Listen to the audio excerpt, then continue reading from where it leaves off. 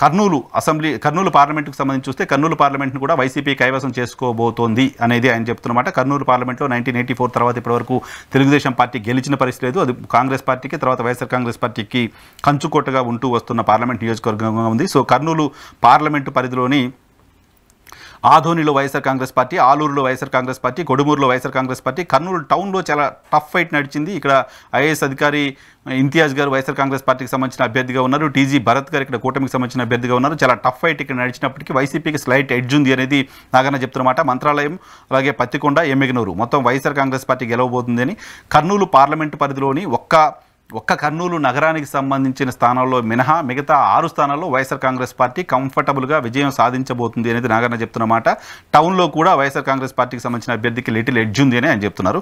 So Kurnool పార్లమెంట్ని YCP గెలవబోతోంది. Kurnool parliament పరిధిలోని ఆల్మోస్ట్ అన్ని సీట్లని వైసీపీ స్వీప్ చేయబోతుంది అనేది నాగన్న చెప్తున్నమాట ఇక